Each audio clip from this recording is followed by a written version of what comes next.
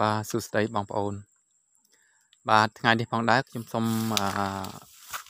បង្ហាញបងប្អូនឲ្យស្គាល់នៅដើមឈើមួយប្រភេទទៀតបាទនោះគឺជាប្រភេទដើមក្រុងបាទនេះដើមក្រុងហើយនៅជាប់ដើមក្រុងនេះបងប្អូនមានឃើញសត្វបង្គួយនៅជាប់នឹងមួយនេះនេះព្រិចជាប់ព្រិចមកស៊ូមឲ្យបងប្អូនមើល ង្គួយ វាកំពុងបើកភ្នែកមើលភ្លឹបភ្លឹះមកវារត់អត់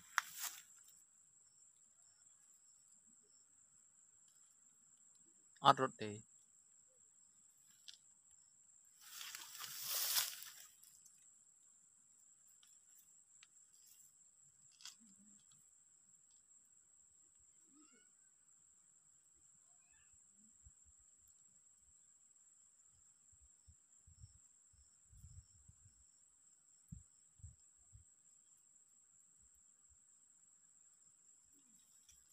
ឃើញថាបង្គួយនេះអត់រត់ទេ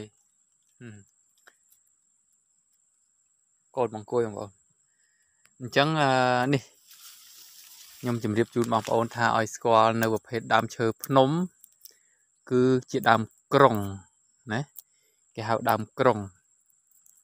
អញ្ចឹងតាំងពីដូនតាមកបងប្អូនឃើញនេះគឺដើមក្រុង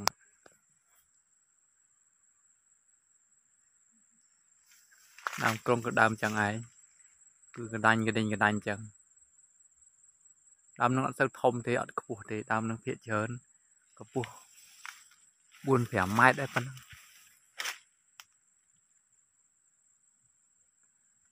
ដើមវារៀងដូចជា ដូចជារូបរាងរបស់វាកដេញកដាញ់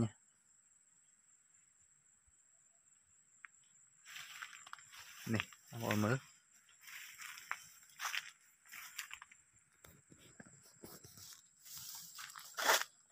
ស្លឹកវាចាដើមឈើភ្នំបងប្អូនឃើញដើមឈើភ្នំអត់នេះនឹងតាមស្រុកក្រំអត់មានទេ មានស្រុកលើអត់មានស្គាល់អត់ស្គាល់ទេស្គាល់ទេអី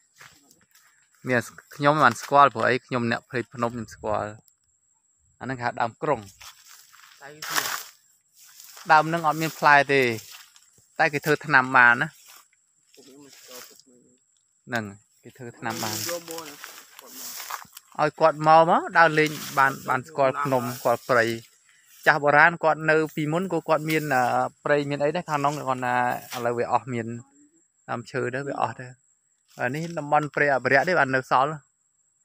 អញ្ចឹងបងប្អូនឃើញនេះដើមក្រុងដើមវារៀងកញ្ញកញ្ញាញ់សបកវាអញ្ចឹងដើមនេះបើសិនតាខែប្រាំងជីបោជីបោខ្យងនៅខ្យង